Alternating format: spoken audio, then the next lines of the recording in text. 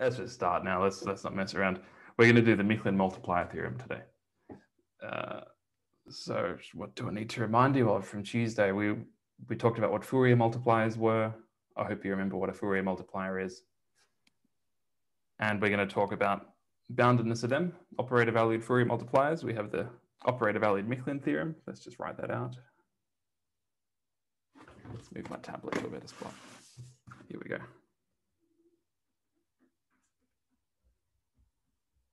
Operator valued Mikhlin theorem for UMD spaces. So the definitions we need to make, just to talk about the, the assumptions that you need to make for the Mikhlin theorem to hold. There are not many definitions that need to be made. First, we need to talk about some distinguished dyadic intervals. Just a nice simple set. This is a script J. Script J is a kind of hard to write. Script J is the set of all intervals of the form 2 to the j up to 2 to the j plus 1. And we can also flip that so that it's in the negative reals. So plus or minus 2 to the j, 2 to the j plus 1 over all integers j. And this is not standard terminology, but I like to call these Littlewood-Paley intervals.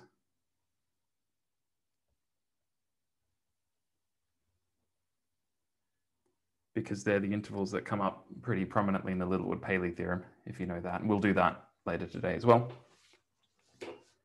We'll let j plus and j minus be the set of intervals, well, the set of Littlewood-Paley intervals that are contained in the positive or negative reals. So we have the, the positive intervals, the negative intervals. We just need a bit of terminology to separate them. So these are the intervals that are going to be relevant to us. And the other definition we need to make is that the size condition on the, the symbols of our multipliers that's going to make everything work. So given complex Banach spaces x and y and a symbol m. So remember these are L infinity functions mapping into the bounded linear operators from x to y. These will be the, the symbol of our Fourier multipliers we call this, uh, we call M a Mikhlin symbol.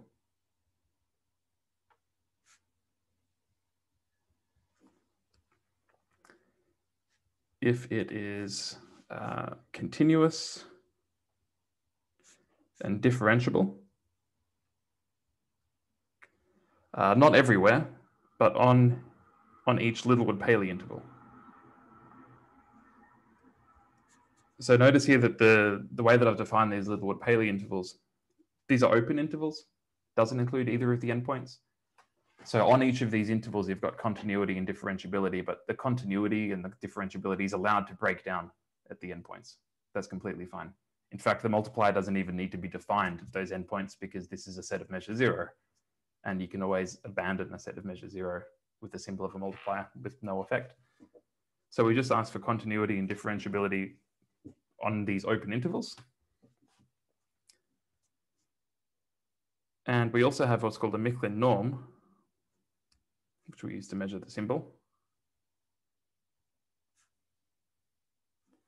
The Mikhlin norm has to be finite. And the Mikhlin norm is defined like this. This is a Fraktur M for the Germans. For non-Germans, it's, it's a German M. So that's the, the of the symbol is the R bound. So remember we talked about R bounds on Tuesday of sets of operators. It's the R bound of the set of operators given by the symbol at xi and also xi times the derivative of the symbol at xi. Uh, and this is a, a set of operators that's contained in bounded linear operators from x to y, just to be clear. This is, um, we let psi vary over the union of all of the Littlewood-Paley intervals. What did we call those? J.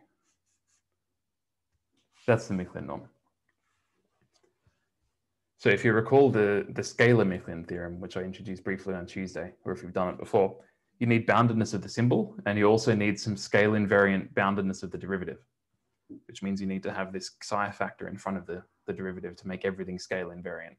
So the, the derivative needs to be bounded, but it needs to have, the derivative needs to decay at infinity better than linearly so that the psi that grows is compensated for.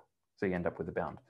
But in this operator valued setting, it's not enough just to have uniform boundedness of these operators. We need R boundedness of the set.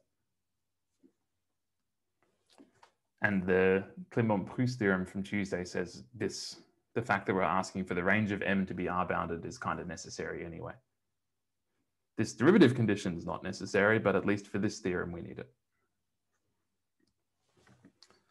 Okay, these are the definitions we need.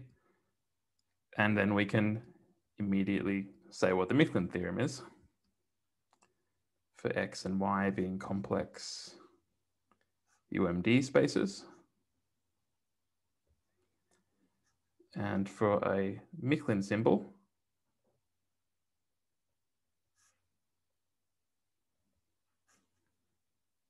that's okay there, Mikhlin symbol.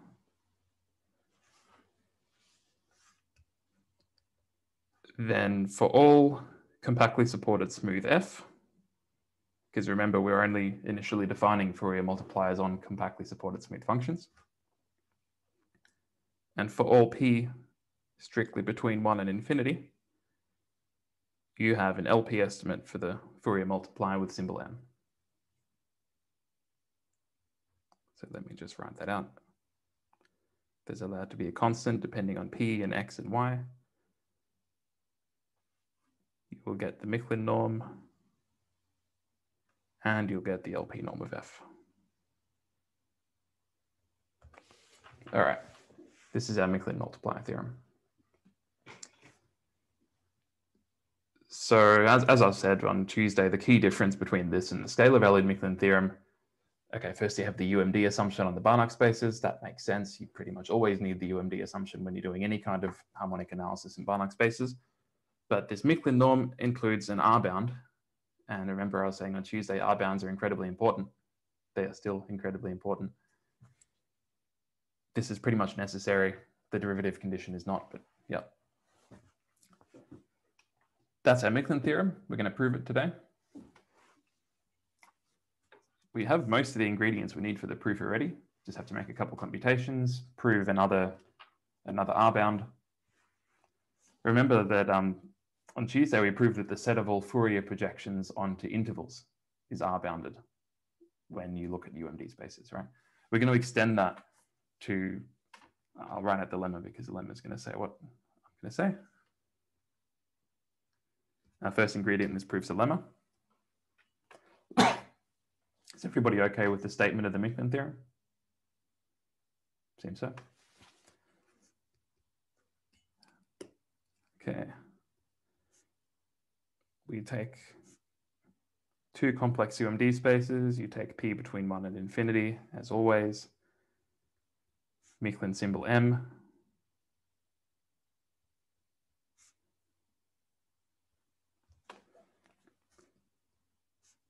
then the set of truncated Fourier multipliers, well, the truncated Fourier multiplier with symbol M, I'll define this set of truncated Fourier multipliers. These are the multipliers with symbol given by truncations of m over all Littlewood-Paley intervals i. So this is a set of operators. A priori, we don't know that they're bounded on LP, but part of the statement of this theorem is yes, they are bounded on LP. And you can guess the conclusion. This set is R bounded. It has R bound controlled by a constant depending on P and X and Y times the Mikhlin norm of M. So this isn't yet the boundedness of the Fourier multiplier with symbol M, but it says that if we truncate M to every Littlewood-Paley interval, then all of these operators are uniformly bounded and in fact R bounded. The collection is R bounded. which turns out to be important in the proof of boundedness of the multiplier with symbol m.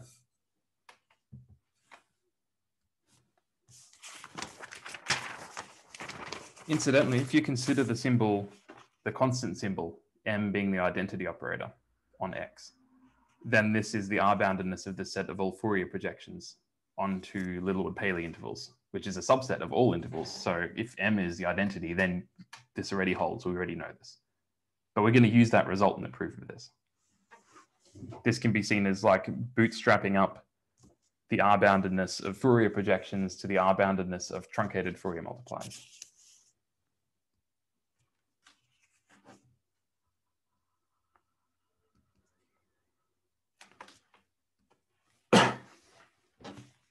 So let's prove this. We're just going to consider Littlewood-Paley intervals in J plus. So the intervals that are contained in the positive reals, because you can split this set of Littlewood-Paley intervals into two sets, the negative ones and the positive ones. You can prove the R bounds individually, and then you can combine them. Remember I said on Tuesday, if you have a set and you want to show that it's R bounded, if you can split it into finitely many sets that are R bounded, then the set is R bounded. That's what we're doing here, splitting it into two sets, positive and negative, dealing with them separately. It just makes the notation easier to deal with. So we'll just consider positive intervals. And for all of these intervals, let's write the interval as having left endpoint L of I, right endpoint R of I, just to give the left and right endpoints a name and we define mid of i to be the midpoint of the interval. So that's the left endpoint plus the right endpoint on two. We just need this terminology.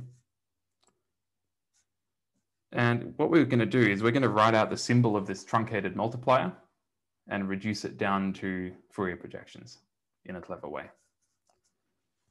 So for psi in the interval i, let's write out the symbol. Here's the symbol of our multiplier, that, well, the multipliers that we're dealing with. We're going to deal with all of these. What we do is we use the, the fact that m is differentiable on i and use the fundamental theorem of calculus and write it out as an integral of its derivative. And we're going to do this around the midpoint for technical reasons. So let's write, oh, hang on, I'm, not, I'm looking at the wrong line. Sorry. Yep. So we have the value at the midpoint plus the integral from the midpoint to psi. This is either, either psi is greater than or less than the midpoint. So this integral could be negative depending on the orientation. Integral of the derivative, like that. This is true. And for technical reasons, we're going to write that a bit differently. We keep this midpoint term, and we're going to write this integral from the midpoint to psi, excuse me, as the integral from the left endpoint to psi, so of m dash, minus the integral from the left endpoint to the midpoint.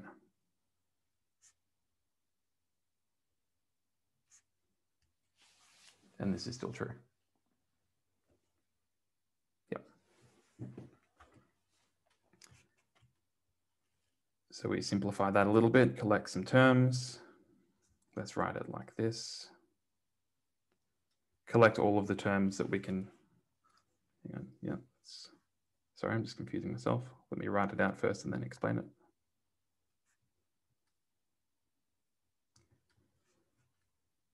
This term that's left over here, this term that I haven't written out yet, we're going to write that as the integral over all of i of the characteristic function from eta to the right endpoint of psi. Maybe I'll scroll right a little bit, times m dash of eta. And if you check carefully, this is true. Because in this integral here, eta is between the left endpoint of i and psi, so in particular, psi is greater than eta. So here's where that eta comes in. And psi is left less than the right endpoint of i. So this is just a clever way of reparameterizing the integrals here. Now, the reason this representation is useful is that, so therefore, when you look at the truncated Fourier multiplier,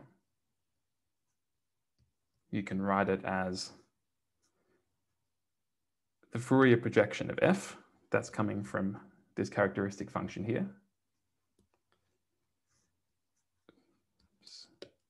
You have some extra terms, m of the midpoint of i minus the integral on the left half of i of the derivative of m.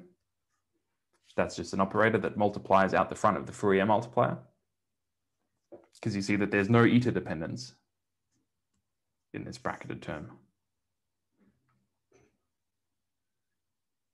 So it contributes to the Fourier multiplier just as a multiplier at the front. Has nothing to do with the Fourier side at all. And then you have another term here, which is the integral. Just to change variables, instead of integrating over i for each i, I'm going to integrate over the interval from 1 to 2 and do a change of variables. So integral from 1 to 2, you will have a Fourier projection that looks like this. We're going to integrate in t. So that Fourier projection comes from this characteristic function here. And as before, everything else is eta independent. So we just get this m dash term and the change of variables makes it look like this.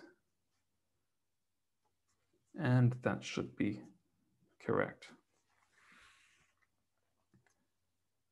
So the upshot of all of this is that if you use the fundamental theorem of calculus, you can represent this truncated multiplier as being like reducing down to a superposition of Fourier projections. That's the point of all of this. You get a Fourier projection here, get some Fourier projections there, depending on t, and then everything else is just in terms of the simple m. This is going to let us use the R-boundedness of the Fourier projections and the assumptions on the Mikhlin norm of the symbol.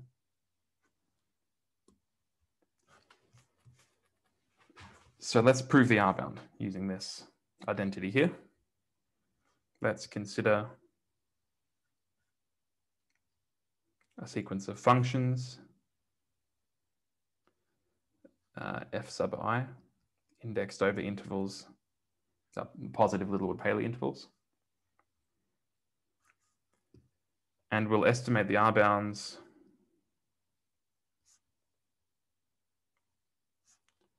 of the three summands individually. So the three summands are this one, this one, and this one.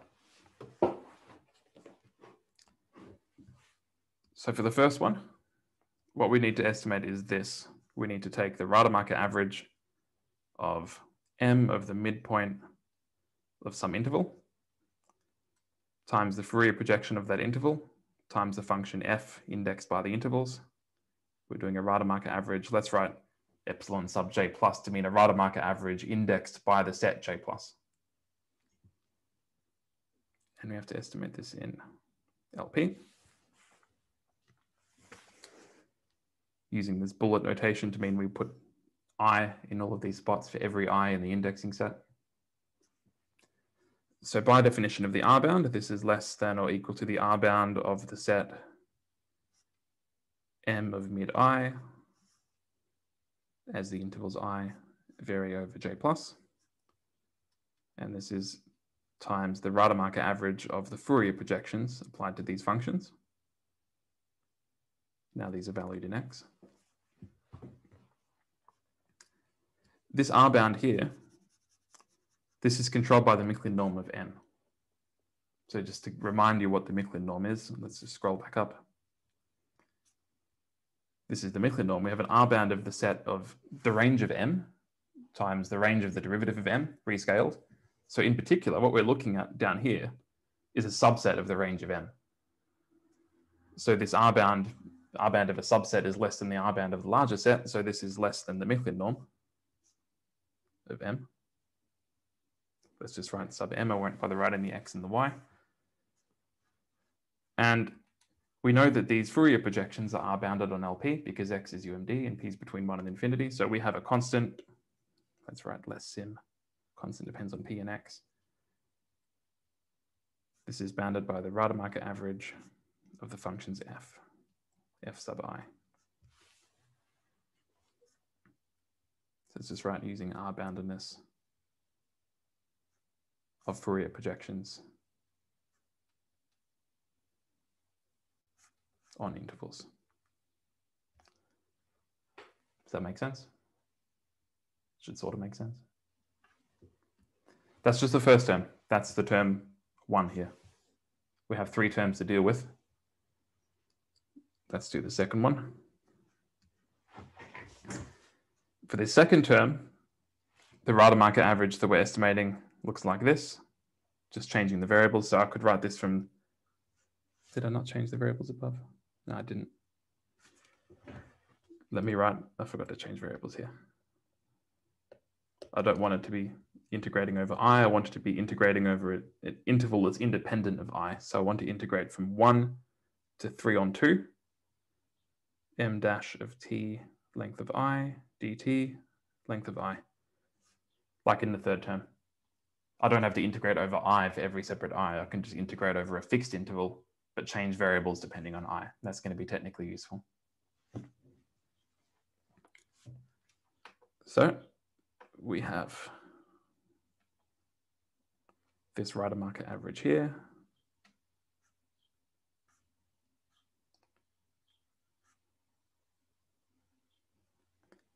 I realize it's um, the way that I write these Rademacher averages is a little bit confusing if you're not used to it. Are people confused by what this Rademacher average actually means?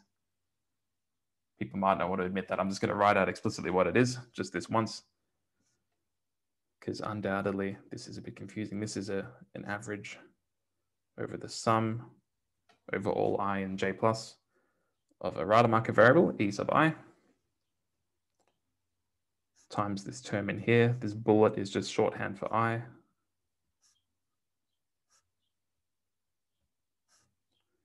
This is an LP. And just the normalization is it's an L2 average. Is that clear? It's definitely longer to write it out this way. That's why I prefer to just write it the first way with the bullet. You don't have to write out the sum. You don't have to write out the Rademacher variables.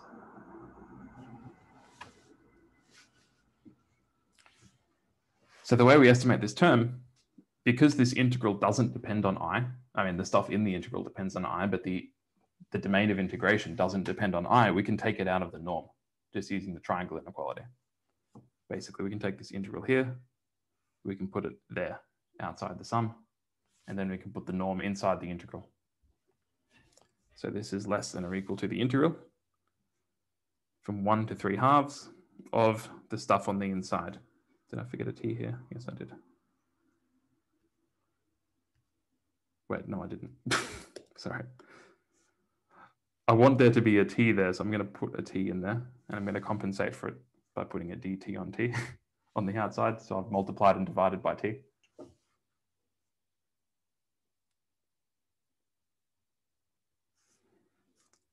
So just we have this Rademacher average here.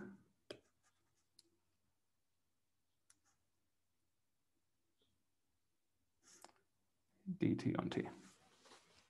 Right. What we'll do is we'll prove an estimate for each t, which is going to be uniform in t, and then we just integrate in t. We're on a bounded interval. That interval is just going to contribute a constant. It doesn't really matter. So if you just think of a fixed t in this integrand, let's make that bracket look a little bit nicer. We can control this by the R bound of these things that are multiplying the Fourier projections.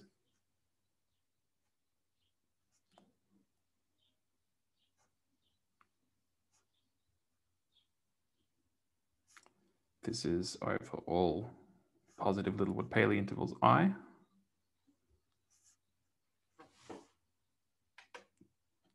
times the Rademacher average with Fourier projections. We know how to deal with that.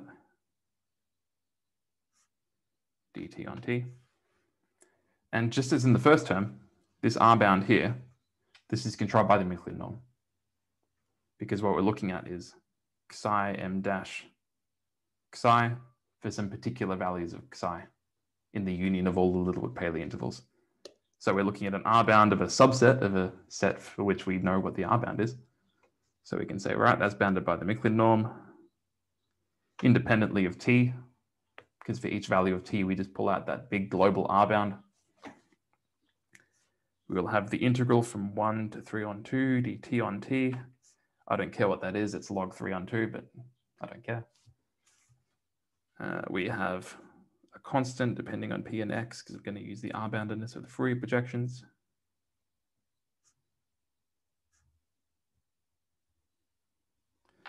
And I think I've handled everything there. This is just a constant, it doesn't matter. It's absorbed into the, the symbol over here. Let's put all of this over there. Very good. So that's the second term dealt with.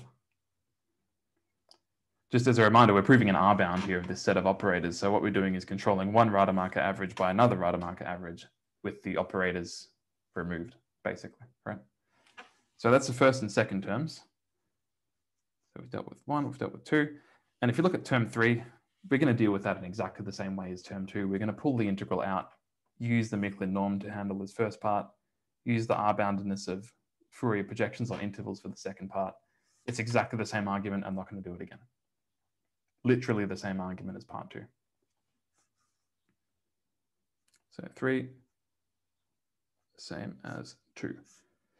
And I think that completes the proof. So let's just remind ourselves, what do we prove? We prove that these truncations of the Fourier multiplier with symbol m onto Littlewood-Paley intervals give an R-bounded set of operators by reducing down to Fourier projections. Basically, this Mikhlin norm that we defined, it works exactly such that you can write your symbol m as superpositions of Fourier projections. And this is ultimately boiling everything down to boundedness of the Hilbert transform, because that's how we showed the R boundedness of the Fourier projections. So it's all coming together. That's that done. Any questions before we do the next lemma? Anyone hopelessly confused? You can admit that, it's okay. but nobody will. All right. That's what office hours are for. So let's move on to the next lemma. We're trying to show that the Fourier multiplier with symbol m is bounded. And so far, all we've done is shown a bunch of technical things about R-boundedness of certain collections of operators. We need to somehow connect this to boundedness of the operator Tm. So one of the ingredients we need for this is something we proved last week. It was one of the consequences of these bounds on dyadic shift operators and average dyadic shifts and things. And I'll say what the estimate is.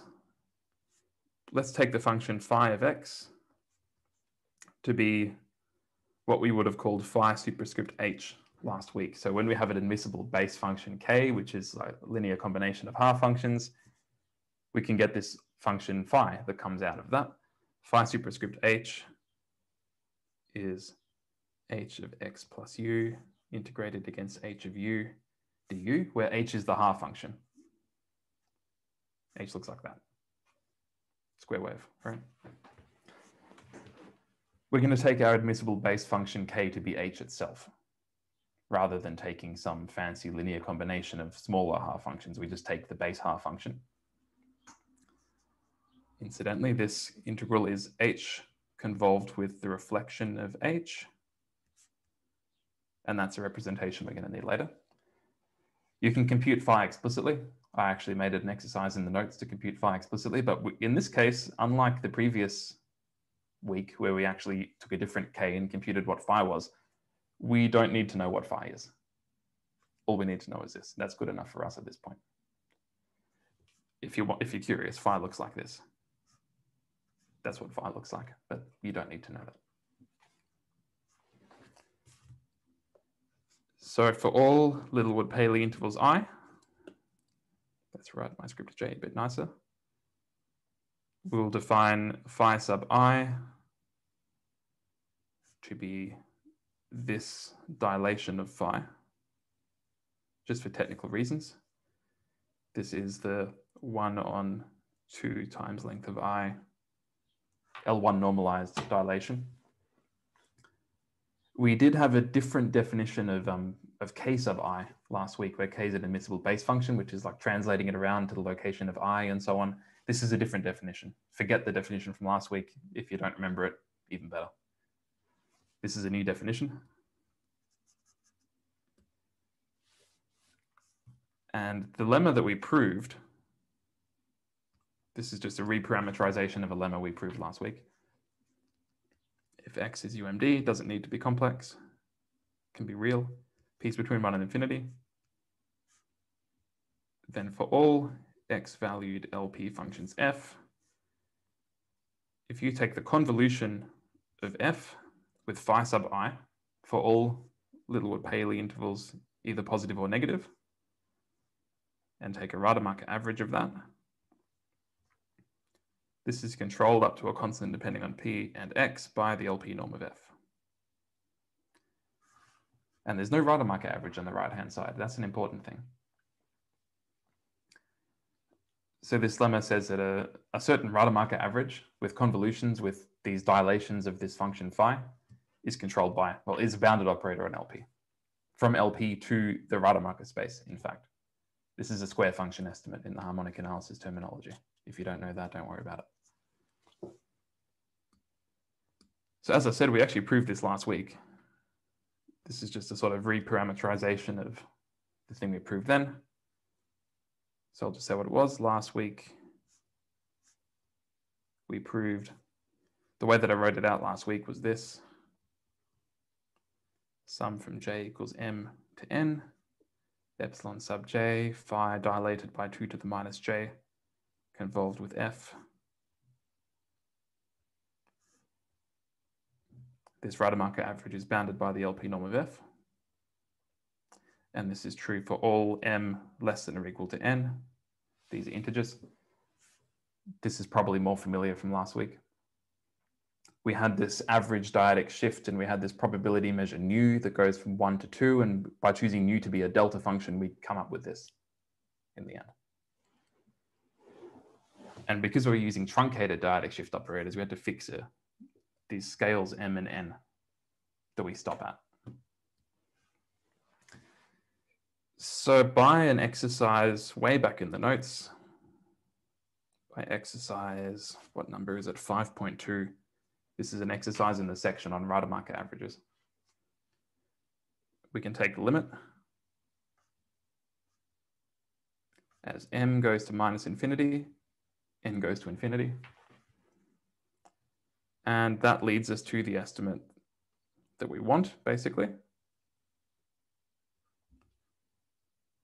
with the Rademacher average indexed by the integers.